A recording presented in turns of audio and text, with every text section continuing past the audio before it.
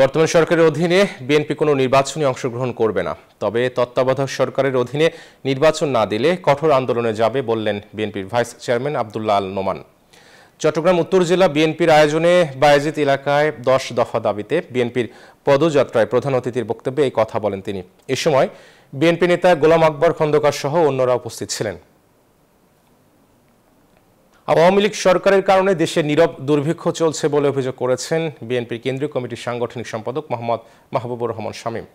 শনিবার দুপুরে রাঙ্গামাটি জেলা বিএনপির উদ্যোগে আয়োজিত পদযাত্রায় এ কথা বলেন তিনি। তিনি আরও বলেন এই সরকারকে মানুষ আর ভোট দেবে না। আওয়ামী লীগ সরকার পতনের ডাক দিয়েছে সাধারণ মানুষ। ক্ষমতায় থেকেও যাতে আওয়ামী লীগ সরকার নির্বাচন করতে না পারে, তার জন্য সবাইকে ঐক্যবদ্ধ হয়ে আন্দোলন গড়ে তোলার আহ্বান জানান তিনি। এর আগে রাঙ্গামাটি জেলা বিএনপি কার্যালয় থেকে বের হয় পদযাত্রা। বিএনপি জামায়াতের সকল ষড়যন্ত্র অপপ্রচারের বিরুদ্ধে সজাগ থাকার আহ্বান জানিয়েছেন বাংলাদেশ আওয়ামী লীগের সভাপতি মণ্ডলীর সদস্য ও বাংলাদেশ মেডিকেল অ্যাসোসিয়েশনের সভাপতি বীর মুক্তিযোদ্ধা ডাক্তার মোস্তফা জালাল মহিউদ্দিন।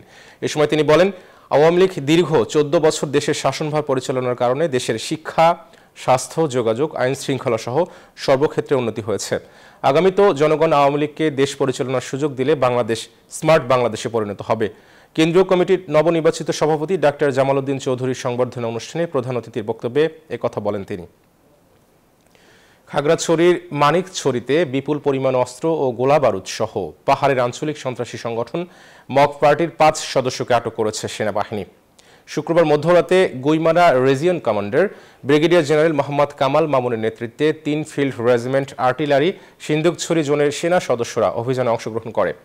এ সময় মানিকছড়ি সাব জোনের আওতাধীন বরতলি এলাকার রমজান আলীর বাড়ি থেকে অস্ত্র, গোলা বারুদ সহ পাঁচ সন্ত্রাসীকে আটক করে সেনা সদস্যরা। জানা যায়, রমজান আলীকে জিম্মি করে গত তিন দিন ধরে তার বাসায় অবস্থান নিয়ে এই সন্ত্রাসী কার্যক্রম পরিচালনা করছিল তারা। রাঙ্গামাটিতে এক যুবকের রক্তাক্ত মরদেহ উদ্ধার করেছে পুলিশ। শনিবার ভোর সাড়ে চারটার দিকে শহরের বনরূপা ফরেস্ট কলোনি কবরস্থান সড়ক থেকে তার মরদেহ উদ্ধার করা হয়। প্রত্যক্ষদর্শীরা জানায়, গতকাল রাতে দোকানে ঘুমিয়েছিলেন ওই যুবক। পরে অপরিচিত এক ছেলে তাকে দোকান থেকে ডেকে নিয়ে গেলে দুইজনের মধ্যে কথা কাটাকাটির এক পর্যায়ে মারামারি শুরু হয়। এ সময় অপরিচিত ছেলেটি ওই যুবককে ছুরিকাঘাত করে। পুলিশ জানায়, আসামিকে গ্রেফতারের চেষ্টা চলছে। ময়নাতদন্ত শেষে মরদেহ পরিবারের কাছে হস্তান্তর করা হবে। জমে উঠেছে চট্টগ্রামের অমর একুশে বইমেলা। আট ফেব্রুয়ারি চট্টগ্রামের M A Aziz stadium gymnasium প্রাঙ্গণে শুরু হয় সিটি কর্পোরেশনের একুশ দিন ব্যাপী বইমেলা। সে সময়ে বইমেলায় প্রতিদিনই বিপুল সংখ্যক পাঠকের সমাগম হচ্ছে। সেই সঙ্গে বিভিন্ন স্টলে বেড়েছে বইয়ের বিক্রি। বইমেলায় ঢাকা, চট্টগ্রামের শতাধিক প্রকাশনী অংশ নিয়েছে। মেলা প্রতিদিন বিকেল তিনটা থেকে রাত নয়টা পর্যন্ত এবং ছুটির দিনে সকাল দশটা থেকে রাত নয়টা পর্যন্ত খোলা থাকবে। মেলা শেষ হবে আঠাশ ফেব্রুয়ারি। কক্সবাজারে রোটারাক্ট দক্ষিণ এশিয়া সম্মেলন, রোটাশিয়া, বাংলাদেশ দুহাজার তেইশ অনুষ্ঠিত হয়েছে। গতকাল সম্মেলন উদ্বোধন করেন সংসদ সদস্য আশিক উল্লাহ রফিক, বিশেষ অতিথি ছিলেন কক্সবাজারের মেয়র মুজিবুর রহমান। এই অনুষ্ঠানে দক্ষিণ এশিয়ার বাংলাদেশ, ভারত, নেপাল, শ্রীলঙ্কার তিনশো পঞ্চাশ জন ডেলিগেট অংশগ্রহণ করেছেন। প্রোগ্রামের নেতৃত্ব, ব্যক্তিত্ব বিকাশ আত্ম উন্নয়ন নেটওয়ার্কিং, ট্রেনিং সেশন নিয়েছে বিভিন্ন কর্পোরেট ট্রেনার বান্দরবানের ধর্মীয় অনুরাগী অমলকান্তি দাস হিন্দু ধর্মীয় কল্যাণ ট্রাস্টের ট্রাস্টি নির্বাচিত হয়েছেন। এ উপলক্ষে শনিবার সকালে তিনি বান্দরবানের শ্রী শ্রী সার্বজনীন কেন্দ্রীয় দুর্গা মন্দিরে প্রদীপ প্রজ্বলন ও প্রার্থনা করেন। পরে বঙ্গবন্ধুর প্রতিকৃতিতে ফুল দিয়ে শ্রদ্ধা জ্ঞাপন করেন।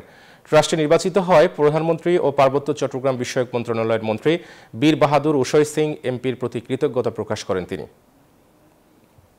বর্ণাঢ্য আয়োজনে বান্দরবনে শুরু হয়েছে তিন দিন ব্যাপী ধর্ম সম্মিলন বৈদিক কীর্তন ও অষ্টপ্রহর ব্যাপী মহানাম যজ্ঞ।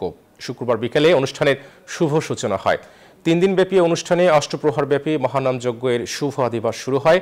পরে যথাক্রমে মহানাম যজ্ঞের শুভারম্ভ, অহরাত্র, নাম সংকীর্তন, ঠাকুরের রাজভোগ ও ভোগারতি হয়। এ নিয়ে আনন্দবাজারে চলছে মহাপ্রসাদ বিতরণ। আগামী রোববার এই মহানাম যজ্ঞের সমাপ্তি ঘটবে।